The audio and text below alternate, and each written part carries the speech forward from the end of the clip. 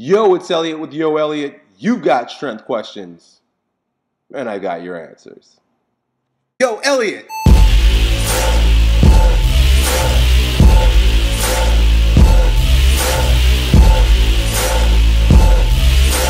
Well, today we got a question from J Mike Japan. J Mike Japan wants to know Yo, Elliott, I have a new job where my hours change every week and every day, so my body can't adjust.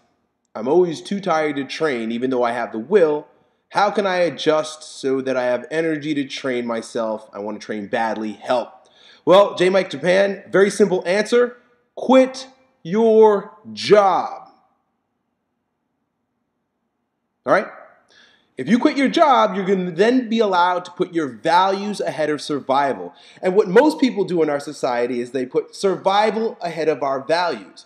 And when you put your survival ahead of your values, you're nothing more than a fucking animal because your ba- all of your activities are based on fear. It's based on I got to pay bills, I got to put food on the table, I've got to buy new clothes, I've got to keep up with the Joneses. Whatever the case may be, it's emo- it's motivated by fear, and you're proceeding from your most base emotion. You're, you're you're like an animal. You're like a dog. You're doing what you have to do to put food in your mouth when you realize that there's there's so much more to life, especially if you live based on your values than just survival, everything that you need will be added to you.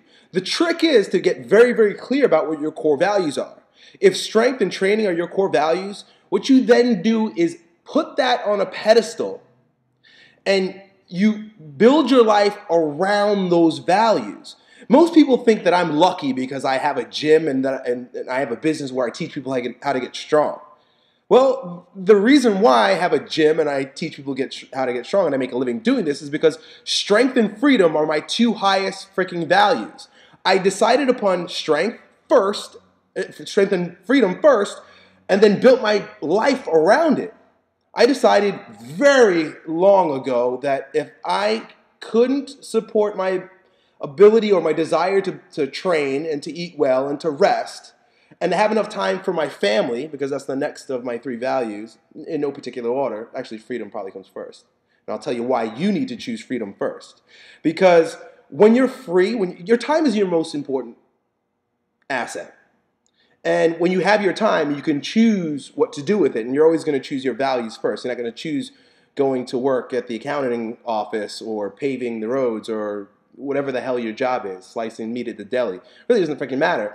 The Eh, not to insult you, maybe you're a plastic surgeon. I don't know. But the point is that when you're you're not putting your value of strength, you're not putting your values of freedom, you're not putting your values of family, you're not putting the things that matter most to you first. You're putting your job first.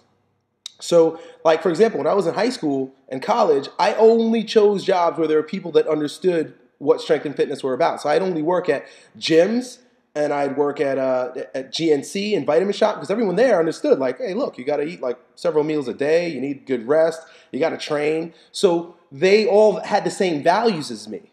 So it was very simple to, to, to, to work with these types of people.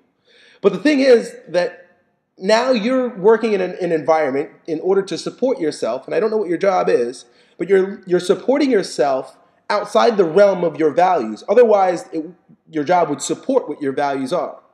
So when I say quit your job, I'm dead ass serious. And if that means, you know, you, you, you miss some car payments or you have to back off the, the, the, the, iPhones or your expensive jeans, or even if it's simple things like paying your rent, maybe you'll miss rent for, for a month or you'll be late or something like that. Th- that shit really doesn't matter. Th- that's like superficial bullshit compared to the fact that you're living from your core you're still training every day. You feel good enough about yourself to go and do the things that you want to do. You're creative. You go and uh, whatever it is that you want to do. You want to paint pictures. You want to play the piano. You want to be a tattoo artist. It really doesn't freaking matter. The point is that you're doing the things that you want to do. That's why I love liberty and freedom so much because I want to do what I want to fucking do. I don't want to do what I have to do.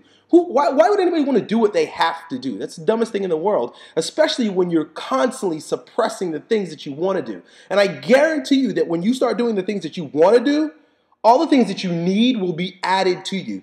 Choose your values first. Survival will take care of itself.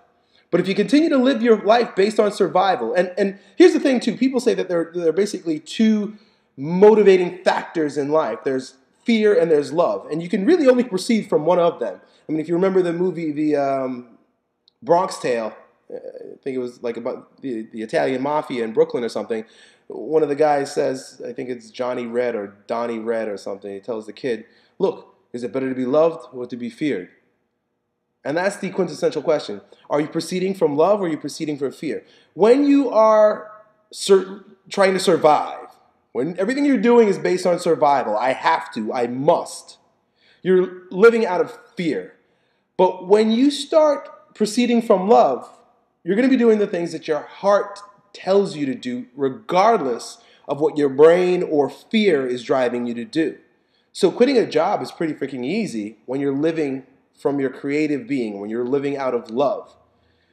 If you have to get up every single day and you're, you're suppressing the things that make you who you are in order to pay your bills, then don't pay your fucking bills because you're gonna die an animal. You're gonna die a bill payer. You're gonna be die, you're gonna die as a slave to everyone else and their expectations for you.